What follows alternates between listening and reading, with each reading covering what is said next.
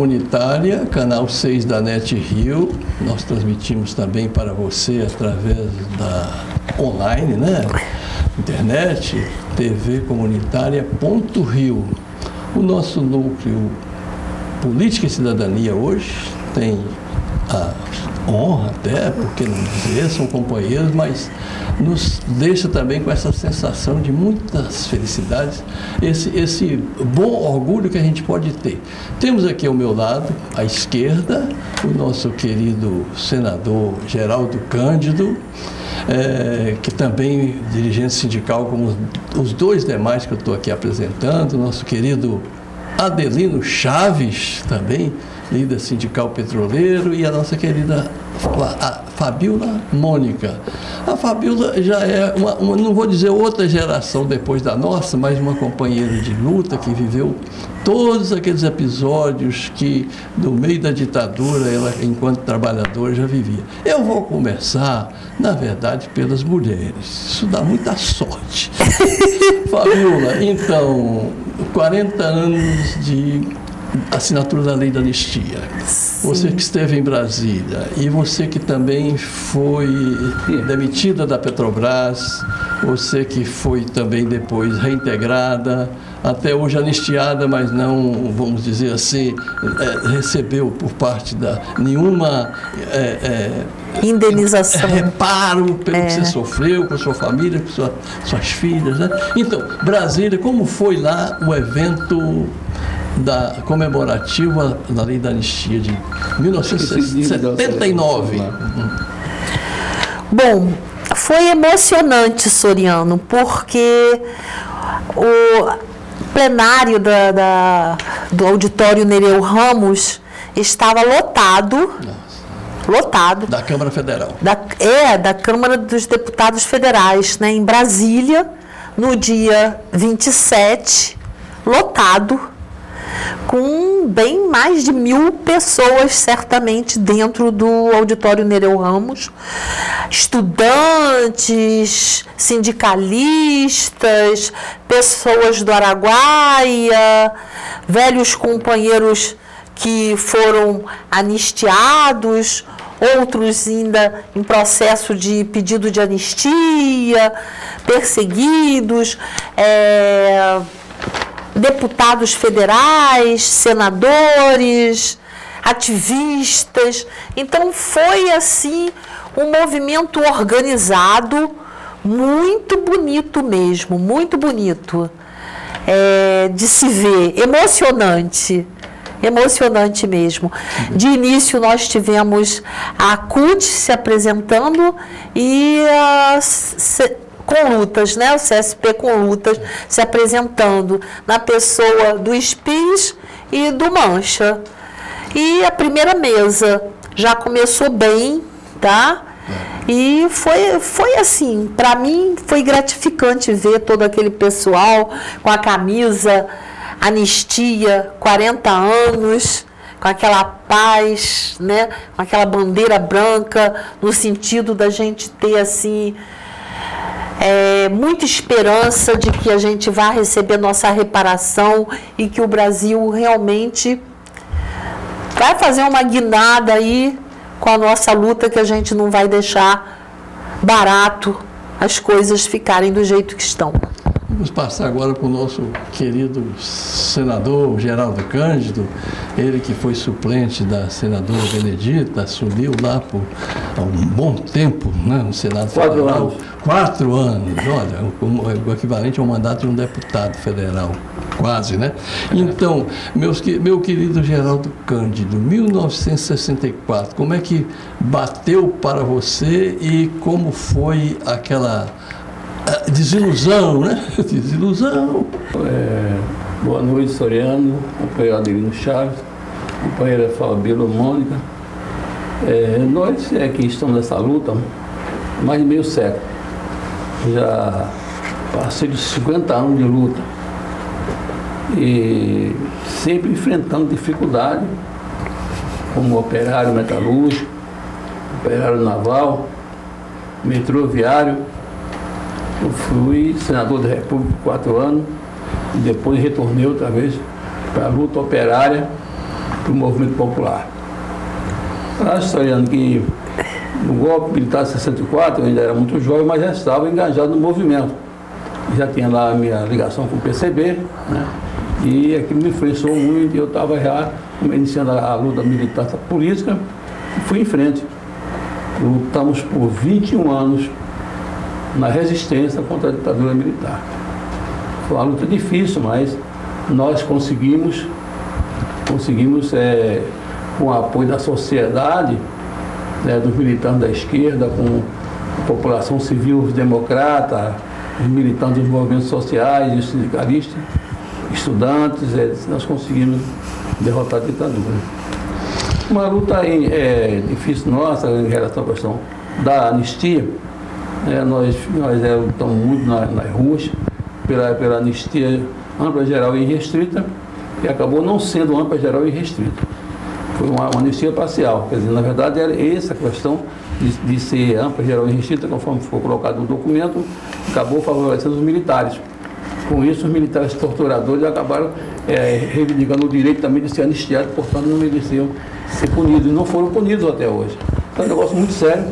Mas, enfim, agora, depois desse tempo todo, nós é, vemos a, a, nossa, nossas conquistas, nós, nós é, obtivemos através da luta desse processo de é, justiça de transição, que foi exatamente a aprovação da Lei 10.559, que garante a anistia, anistia com reparação política e reparação econômica, e outras coisas mais que hoje agora estão sendo ameaçadas por esse governo Bolsonaro. Negócio muito grave, muito sério, mas nós vamos continuar na luta porque não vamos dar trégua para esse, esse mau caráter que governa o nosso país. Adelino Chaves, meu companheiro aí de petroleiro também. Perfeito. Caxias ou favor? Caxias. É, como é que, Caxias. Bate, como nós... é que bateu aquele primeiro de abril? É. Em Caxias, nós, nós, quando eu entrei na Petrobras, em fevereiro de 60, estávamos em obras ainda, né? E a partir dali nós começamos a nos organizar, porque não tinha sindicato dos petroleiros em Caxias, certo? E quem dava assistência em Caxias era o Fernando Altran, que era o companheiro que, do Sindicato do Rio de Janeiro. E foi um companheiro que deu muita força para a organização do movimento sindical em Caxias. E lá em Caxias, nós tínhamos o Zé dos Santos, que trabalhava na, na, na Batistaca, era que ficava com os companheiros para fazer as estradas, entendeu? Não tinha nenhuma unidade de processo ainda montada. Mas em 62 já começou, 61 já começou a montar as unidades de processo. E em 62 nós conseguimos fundar o Sindipetro Caxias. E ajudamos a fundar o Sindiquímica, que é lá na, na Fabor. Certo? E o Orbel. Fábrica de borracha. É, fábrica de borracha. E o Orbel, que era o Óleo Rio Belo Horizonte. E ali nós fizemos o movimento e conseguimos mobilizar toda a categoria, inclusive primeiramente dos companheiros que trabalhavam no Batistaca, os companheiros que era, trabalhavam co, co, co, cortando vala, né, para poder fazer as, as unidades, ba, bater nos pisos para fazer a unidade 1220, 1320, 1210. E, e quando começou a, a, a funcionar essa, essas unidades, nós formamos nosso sindicato em 1963. Entendeu? E a, e a Redentora, como é que bateu lá? Hein? E aí, companheiros, é quando nós, nós os companheiros se organizaram, aí nós fundamos, antes de, de, de, de fundar o sindicato, nós começamos com o Movimento 2004 unidade e luta do movimento 2004. 2004, porque a lei do era petróleo lei era de.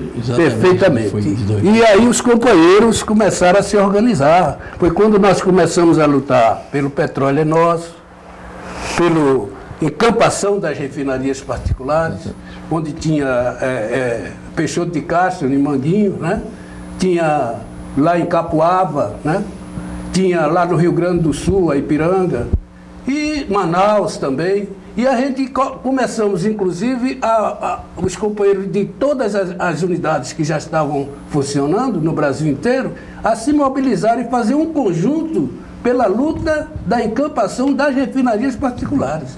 E isso foi ligado em todos os estados que tinha refinaria particular e nós conseguimos que elas fossem Adelino, um pouco das perseguições. Eu sei que tem uma figura a histórica do lado de lá, entre os opressores, Major Nelson. Isso. Começou logo nos primeiros momentos as comissões de inquérito, CGIs e isso era o Coronel Souza. Na, na, a, essa mobilização nossa foi, foi tão nacionalmente divulgada que a, a, o olho da, da repressão era a refinaria Duque de Caxias. Nós, quando o exército invadiu, é, veio, tropa, né? veio tropas de, de Belo Horizonte foi a tropa de Belo Horizonte que invadiu a refinaria Duque de Caxias. A gente fala invadiu porque invadiu mesmo, né? Eles não pediram permissão aos trabalhadores ah. para entrar na refinaria, eles invadiram a refinaria. E, a, e ali, companheiros, ali se instalou um movimento paredista do Exército para o que os trabalhadores eram chamados para serem sabatinados na FABOR. Fizeram da FABOR a unidade presídio dos petroleiros em greve.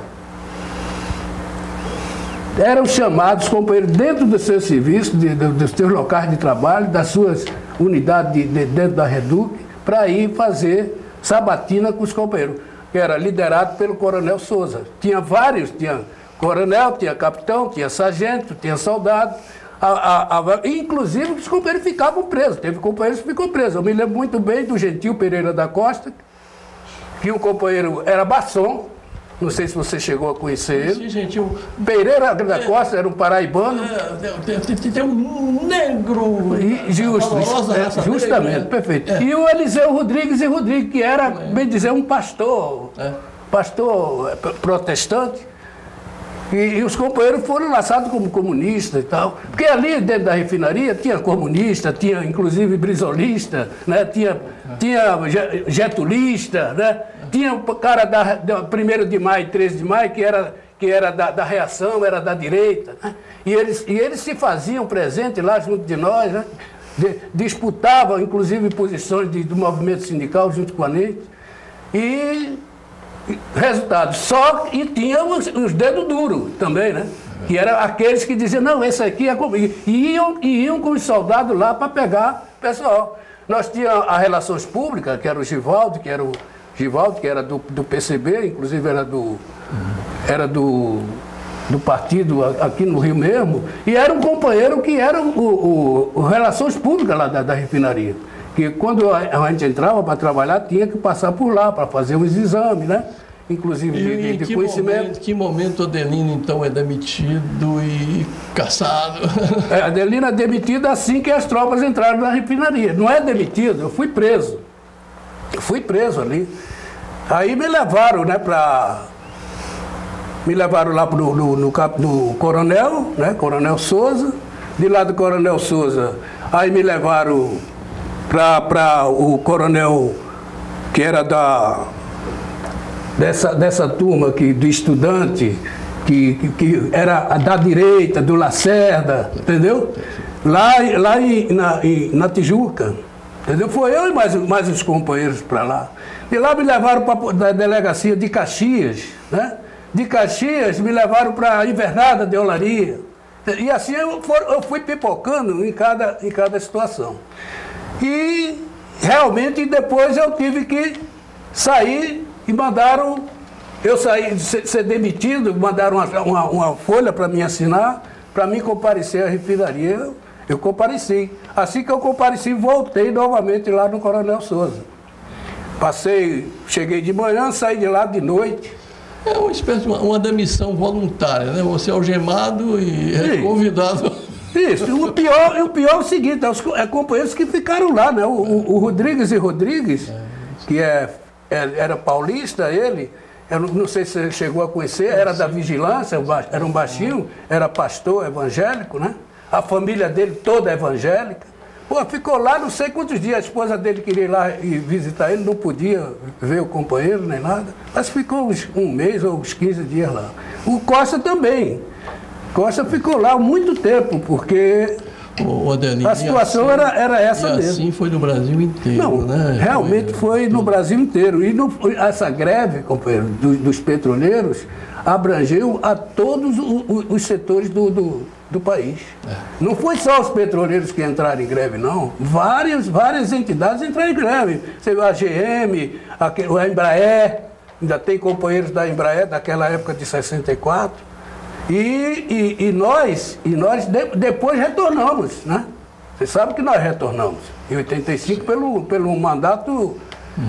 E depois ah, e nós saímos novamente e fizemos outra greve, parece que foi em no- em 97. Se eu não me engano, eu tenho até o documento aqui, ó. É, deve ser. Se você quiser mostrar aí. É, assim. Depois o companheiro Isso é- vai dar um close, né? Close, entendeu? E isso aí é- foi nova, nova greve. Quando, aí tem o nome de todos os companheiros, de- me deixaram eu e o Carlos Alberto, lá na vigilância, que eu era vigilante, né? A gente de, na, na- da parede, de, de mão, de mão aberta, entendeu? E me mandaram para trabalhar lá na, no- na, na comporta, onde tinha os mosquitos. Eu, aí eu me neguei aí, eu digo, eu não, só vou armado, desarmado eu não vou, porque vocês vão querer me matar lá. Então lá, se vocês forem lá, se eu for me der uma máquina, um revólver para mim, eu vou. Aí eu fico lá, agora eu fico esperando vocês chegar. Entendeu? Foi assim de- desse tipo. E resolveram me, me, me mandar embora. Resolveram tirar da, da, da refinaria, me deram 15 dias para ficar fora da E refinaria. essa luta não cessou. Por Não, exemplo, ainda não. Eu, tenho, eu tenho aqui o exemplo da greve de 88, que a Fabiola é que mais pode aqui em termos de Rio de Janeiro falar como foi esse movimento São Paulo, Bahia e Rio de Janeiro que levou a companheira à demissão, né, companheira? Bom, é, se me permite, é, não é em 1988, foi em 1983. Maravilha. Foi julho de 1983 que se deram as grandes greves. ditadura, né? Em 1983, Soriano, em julho de 1983, se deram as grandes greves das refinarias de Mataripe, Cubatão e também Paulínia. Duque de Caxias, Paulínia também. Por quê? Caxias também iria entrar em Não, greve. não entrou, não chegou a Mas entrar. não chegou a entrar, devido tanques terem ameaçado entrar dentro da refinaria. Então Caxias recuou. Nós do Rio de Janeiro, é, as bases administrativas do Rio. Muti, você, Fabiola. É, as bases administrativas do Rio de Janeiro, principalmente centro de pesquisa, nós tínhamos uma lista de possíveis perseguidos e demitidos, que eram mais ou menos uns 12. E rolava isso, olha, uns 12 vão ser demitidos aí no, no CEMPES, no Centro de Pesquisa, e também no Edifício 7. Vocês não, não entraram propriamente em greve, mas fizeram um movimento de apoio. Nós fizemos não só o movimento de apoio, como nós irritamos demais o general Figueiredo, porque a gente colocou na rua, na rua, olha, milhares de petroleiros na Avenida Rio Branco e foi fotografado pelo New York Times. Entende? Fantástico. dizendo que queríamos uma abertura política, que ditadura nunca mais era faixa, em prol da é, o petróleo é nosso, né? Porque já queriam privatizar a Petrobras naquela época e, um, e o movimento que os petroleiros estavam fazendo era também a favor da não privatização da Petrobras, que eles já estavam querendo privatizar dentro de uma caixa preta a Petrobras. Então, eu fui demitida, o Fabiola, Mônica, o Mude, Vladimir, a Denise, o Orlando, o Pasqualini e tem uma outra pessoa que eu esqueço o nome, infelizmente, porque ela ficou tão apavorada que sumiu do mapa. Sumiu, literalmente. Apavorada. E acontece agora, estrutura. anos mais tarde, eu fui fazer uma pesquisa no é, ali, meu Deus, sobre onde esqueci o nome agora, mas eu fiz uma pesquisa nos documentos que a Petrobras mandou, mandou para o Arquivo Nacional, me perdoem. Isso. E lá, fazendo a pesquisa, eu achei assim um arquivo de 115 petroleiros sendo fiscalizados no seu dia a dia, tudo que fazia. E lá, pasmem, eu achei a famosa lista dos 12 nomes do SEMPES. É muito interessante, eu guardei aquilo, estava inclusive assim rasgadinho. Eu, por exemplo, era a sexta da lista, mas fui a primeira demitida, né? Tive essa honra. Ficou dois anos sem salário. Dois anos na rua, estava com minhas filhas ainda pequenas, bem pequenininhas. Raquel, a minha caçula, era assim, neném ainda praticamente, né? E eu fiquei em cárcere privado dentro do centro de pesquisa, um dia inteiro, até umas 8 da noite, sem saber se eu ia conseguir dar ou não o mamar para minha filha, né? Aquilo ali foi realmente estressante, desgastante. E eu consegui sair de lá, graças a Deus.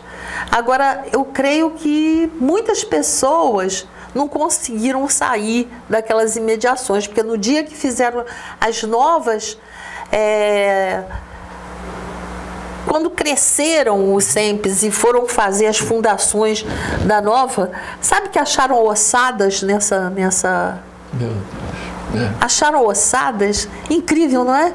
É, verdade. É, eu passo agora para o meu querido Geraldo Cândido, ele que é senador também, foi ocupou também uma vaga do Senado e teve lá no, no encontro de Brasília, comemorativo a 40 anos da anistia. Geraldo Cândido, eu sei que você e os demais companheiros aqui que estiveram lá têm uma notícia é, para pelo menos deixa a gente respirar um pouco de uma, uma perspectiva. Querem caçar tudo dos anistiados nessa, conjunto com essa, essa deforma previdenciária que quer acabar até com a aposentadoria do brasileiro conforme manda o tio Sam, né? Geraldo Cândido, e como é que está nesse instante essa situação lá com o senador relator da, da, da proposta de retirada? Informação que nós obtivemos hoje, inclusive interessante, que o senador Tasso Gereissati, que é o, o, relator dessa matéria, né? Nós fizemos o, o seminário no dia 20, 20 sete lá em Brasília, e uma comissão de companheiros e companheiras de, foram conseguiram marcar uma audiência com o Tasso Gereissati para falar sobre essa questão.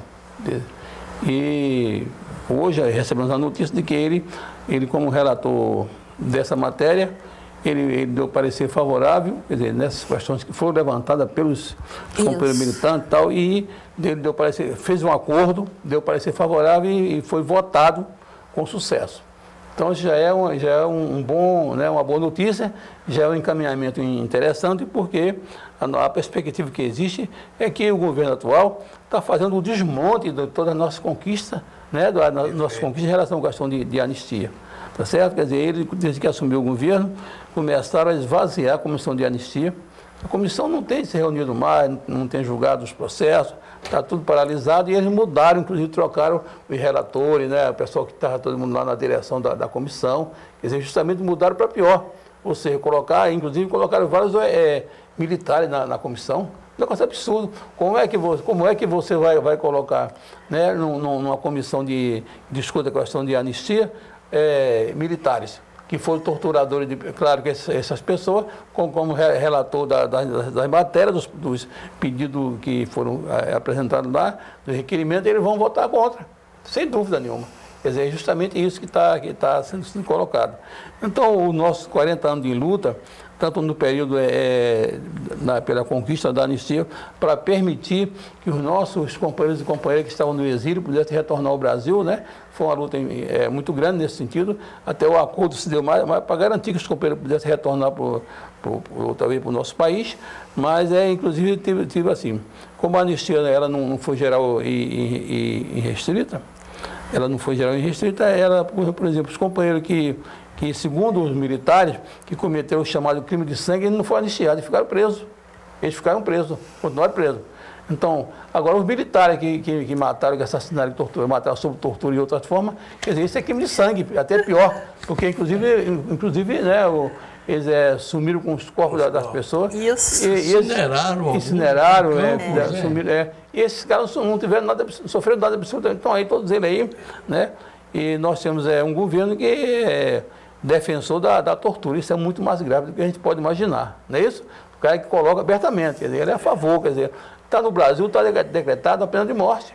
O governo do Estado do Rio de Janeiro e o, o presidente da República, de, presidente da República decretaram a pena de morte no Brasil. Quer dizer, agora não, não é nem prender, é matar. É, a polícia tem executado muito jovem, o jovem já está preso, assim, o cara, o cara é, entregou armas, entendeu? Eles vão lá e executam. Quer dizer, é um governo de extermínio da população pobre, negra, favelada, negócio muito, muito grave.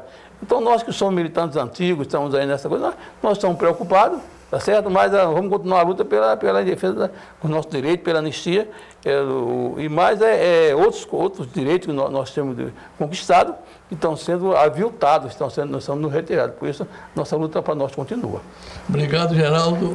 Um minuto para a Adelina. É, isso, continua, Adelina. Isso, a luta continua. Eu quero só dizer para vocês, continuando a colocação do companheiro, você vê, o, em 64, houve realmente torturas. Porque não é possível você estar dentro de uma unidade trabalhando, mesmo que você esteja de greve, aí você é chamado para depor do seu local de trabalho, dentro da sua, da sua sessão de trabalho, é retirado para ir ser, ser, ser depor perante um, um, um, um status militar, dentro de uma unidade de trabalho. Certo? Eles escrevem, aqui a gente tem um, um, documentário da saga petroleira. A saga, a saga petroleira certo? É o que, ele, o que a repressão diz de nós. Agora, só que aqui, na, na, a, o que eles colocam de nós, chama todo mundo de comunista, tudo de ista, ista, ista, mas não colocam que tinha uma unidade de pri, prisão dentro da própria Petrobras, onde os trabalhadores petroleiros iam para lá fazer ser feita sabatina e, e prisão lá dentro da unidade. Isso é o que? Não é uma tortura? Eu acho que isso é uma tortura. E até hoje tô, nós estamos com mais de 80, e, mais de 100 companheiros que está aqui na declaração minha, como os companheiros participaram da luta e, e, da repressão, e não até hoje não solucionaram o problema dos companheiros. E agora, como diz o companheiro, tem um, um, um, nós temos um governo, um chefe de nação que é a favor dos torturadores. Como é que vai ficar isso? E ainda, ainda são contra os direitos humanos. Eu acho que a nossa luta, companheiro, não termina aqui. Vai continuar ainda mais e os trabalhadores têm que se organizar para poder enfrentar essa situação. E as prisões também aconteciam nos navios, que se tornaram, se transformaram em presídios, estádios de futebol, e pelo Brasil afora, matanças até mesmo de camponeses. Fabiola, então, a voz da mulher de fibra aí do Sindicato ah, Muito, muito obrigada. E, então, a luta continuará sempre. Né? Sim, a luta continuará sempre, porque, infelizmente, a nossa, o nosso país não teve assim uma transição adequada como deveria ter, né? E tanto é que agora nós temos uma moção de repúdio que foi encaminhada para a Comissão dos Direitos Humanos e Minoria da Câmara dos Deputados. E justamente a plenária de anistia do Rio de Janeiro encaminha essa moção de repúdio a forma como é tratada a memória das lutas do povo brasileiro contra a ditadura empresarial militar. E eu fico muito feliz, quero agradecer aos nossos ouvintes de casa e de, to de todo o Brasil grande. E peço que os jovens não esmoreçam na luta, que sigam esses jovens há mais tempo. Isso que é importante. Né? É isso aí. Agradecemos aí a Fabiola Mônica, ao Adelino Chaves, ao nosso querido senador Geraldo Cândido, o núcleo Política e Cidadania, TV Comunitária, canal 6 da NET Rio, TV Comunitária Ponto Rio. Obrigado a você que nos prestigiou com sua audiência.